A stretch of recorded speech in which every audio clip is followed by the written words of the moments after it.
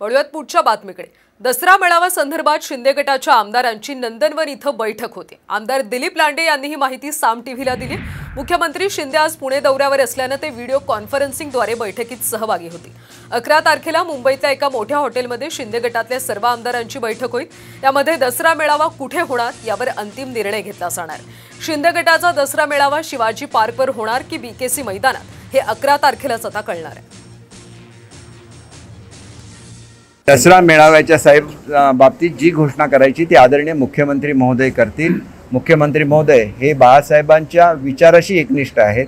म्हणून बाळासाहेबांच्या विचारासाठी त्यांनी तसा लढा दिला तसाच त्यांच्या प्रथा परंपरा कायम ठेवण्यासाठी सुद्धा ते कटिबद्ध आहेत.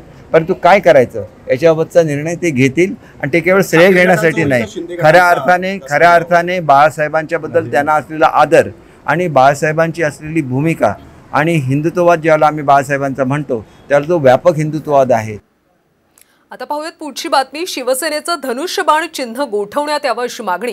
शिंदे गटाचे वकील नीरज कौल यांनी आज सुप्रीम कोर्टात केली होती. दरम्यान पक्षचिन्हासंदर्भात निवडणूक आयोगानं सत्तावीस तारखेपर्यंत कोणताही निर्णय घेऊ नये असे निर्देश घटनापीठानं दिलेत. पाच न्यायाधीशांच्या घटनापीठासमोर दहा मिनिटं महाराष्ट्रातल्या सत्ता संघर्षावर सुनावणी पार पडली. यावेळी आगामी निवडणुका लक्षात घेता धनुष्य बाणाच्या चिन्हाचा निर्णय होत नाही तोपर्यंत चिन्ह गोठवा अशी मागणी करण्यात आली होती.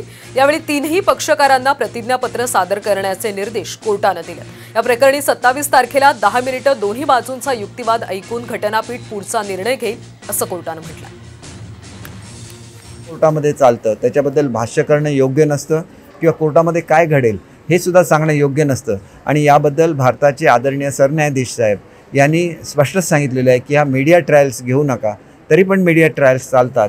आम्ही एक पथ्य पाळलेलं आहे की कोर्टाच्या निर्णयाबद्दल तिथं होत असल्या कामकाबद्दल काहीही बोलायचं नाही.